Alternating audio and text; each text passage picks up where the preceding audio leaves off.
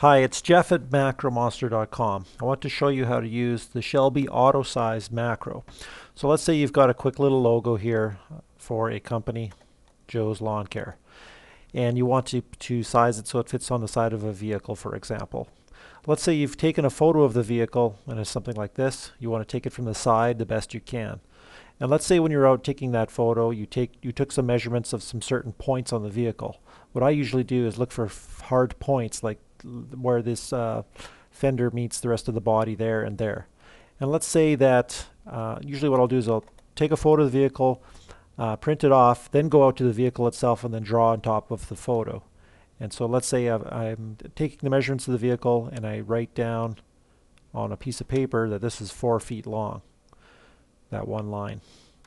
Okay, and so then what would happen is I go back into the shop Knowing that this is supposed, in real world terms, that distance is 4 feet, I will select the line, shift select the bitmap, and then run the macro.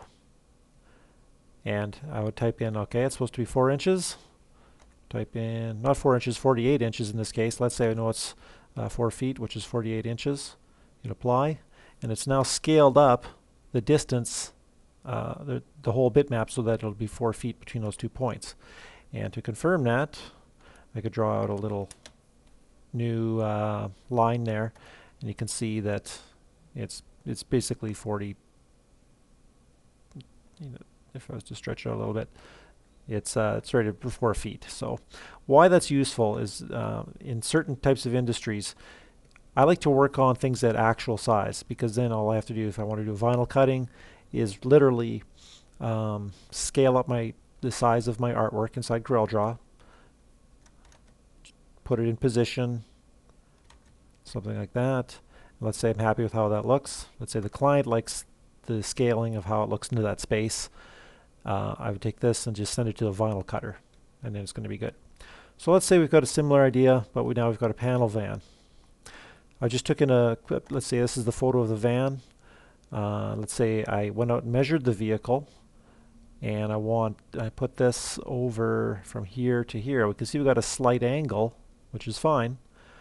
Now I don't know what that would be in real world terms. I'm gonna say mm, 10 feet.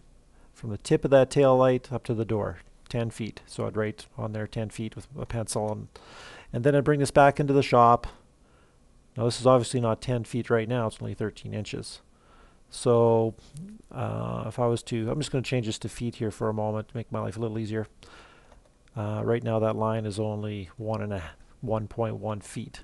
So what I do is I select the line, shift select the bitmap, run the macro, and it's going to ask me, um, let me see here, since I'm working in feet mode, I'm going to see if this will work.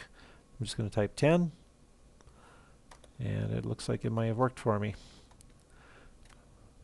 I think it might automatically sense what my uh, document units are, whatever is used in that box.